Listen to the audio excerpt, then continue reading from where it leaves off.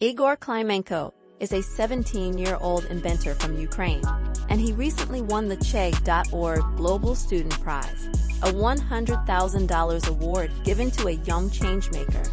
Klymenko won it for his invention, the Quadcopter Mines Detector, which is designed to locate underground landmines. The issue of unexploded landmines cannot be understated. Some estimates show there could be about 100 million of them scattered across the globe.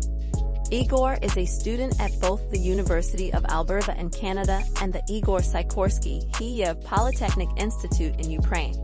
His motivation for creating the quadcopter mines detector was to help his home country, Ukraine, through engineering.